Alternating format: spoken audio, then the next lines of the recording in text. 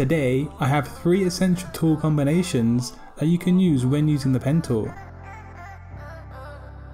As designers, it's important to have a website to show off our portfolio of work.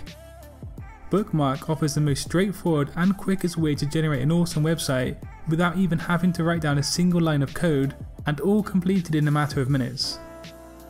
Check out the link in the description below to learn more about Bookmark and design your website today. So today we're taking a look at three different tools in Illustrator that are great when they're combined with the pen tool.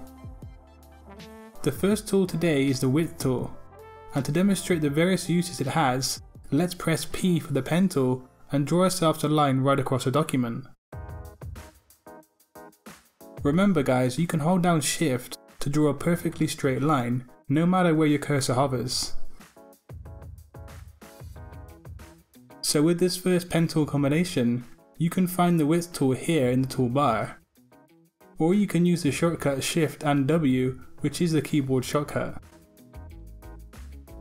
The width tool is awesome because you can change the thickness of a pen tool path anywhere along the line. And this is useful for digital illustrations, but also things like logo designing.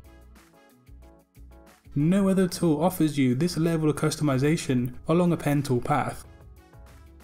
Also, you can hold down the Alt Option key and click and drag just one part of the line like so. As you edit and work with the pen tool path and the width tool, you are going to be creating a stroke style here. And then you can actually use this stroke style on a completely new path using the pen tool.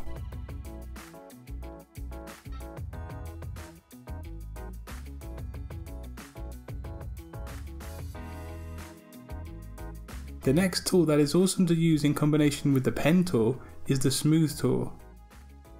You can find that here in the toolbar, and this tool is great if you're not too amazing with the pen tool just yet. But also it's really good just to smoothen out your paths on your designs.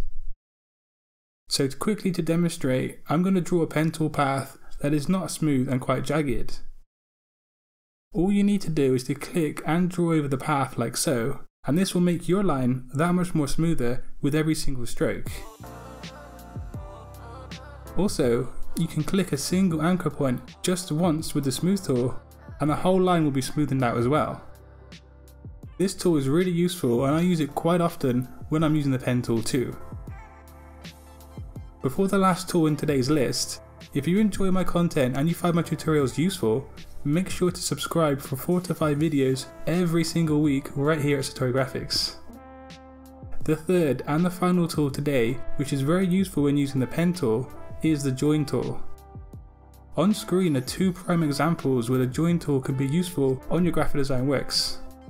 But firstly, I still have people asking me how are my anchor points actually larger than usual. So if you have Illustrator CC, you can come into the preferences here and adjust the size to be larger or smaller. I'm actually going to lower mine for this part of the tutorial. So, the join tool in this situation here on the left can actually join two lines where they intersect. This helps you when you're designing something in a very freehand manner using the pen tool and you then want to tidy things up on your design. And here on the right is another situation where the join tool can be used and it will actually extend two lines so they can join together. The lines will continue in the direction that the path is already heading until they meet. And as you can see here, that is exactly what just happened.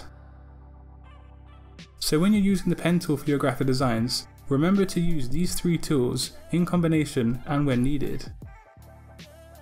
Like and share my content on social media if you want to help out my channel, and of course, until next time, design your future today.